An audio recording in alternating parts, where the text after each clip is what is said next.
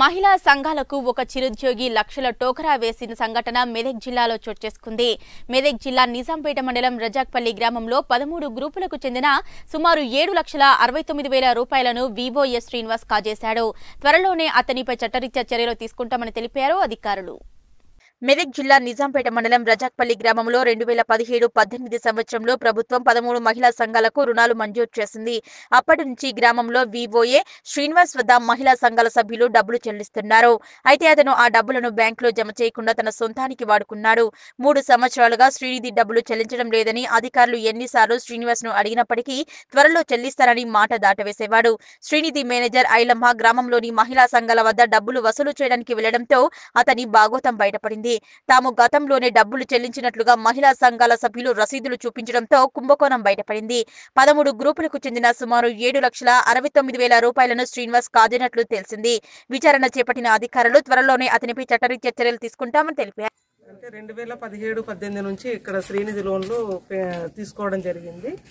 అప్పు అనేది సరిగ్గా కట్టకపోవడం వల్ల ఇచ్చినప్పుడల్లా కంటిన్యూ డేట్లు చెప్పుకుంటా పోతున్నాడు. అంటే రేపు కడతాను ఎల్లుండి కడతాను. గ్రూపులు సరిగ్గా కూర్చోరు. నైట్లో కూర్చుంటారు మీటింగ్కి అని చెప్పిండు. అయితే నైట్లో అంటే నైట్లో అంటే కొంచెం మరీ లేట్ నైట్ అంటే ఇబ్బంది అవుతుంది అన్న ఉద్దేశంతో కంటిన్యూ ఆయన చెప్పిన ఉద్దేశం ఏందనంటే ఆ డబ్బులన్నీ నేనే వాడుకున్నాను వీళ్ళు కట్టిండ్రు అని వాళ్ళు చెప్పిండు. అయితే చెప్తే ఏమన్నాడంటే మరి రికవర్ చేయాలి కదా అని అంటే పొలం అమ్ముతున్నాను పొలం డబ్బులు రాగానే కడతాను ఇల్లు అమ్మిన ఇల్లు డబ్బులు రావాలి కడతాను. ఇట్లా కంటిన్యూ ఇల్లు అమ్ముడు పొలం ఇదే రకంగా చెప్పుకుంటూ పోయాడు. మార్చి కాబట్టి మా హెడ్ ఆఫీస్ నుంచి కూడా మాకేమన్నారు అని అంటే రికవరీ కాకపోతే కష్టం కదా. మెంబర్ల మీద కేసు వాళ్ళకి నోటీసులు ఇవ్వాల్సింది ఉంటుంది. ఇదంతా జరిగింది వివోఏ ఫ్రాడింగ్ కాబట్టి. ఇక్కడ ఇప్పుడు పన్న పదమూడు గ్రూపులు ఉన్నాయి. మొత్తం పదహారు లక్షల వరకు ఇక్కడ అప్పు తీసుకున్నారు. ఇంకా నలభై రెండు మంది. ఇంకెంత పెండింగ్ ఉంది? ఇంకా ఏడు లక్షల అరవై తొమ్మిది వేలు పెండింగ్ ఉంది. శ్రీనిధి మేనేజర్ గారి సమక్షంలో డ్వాక్రా మహిళా గ్రూప్ సంబంధించి పదమూడు గ్రూపుల వాళ్ళు శ్రీనిధి లోన్లు తీసుకున్నారు.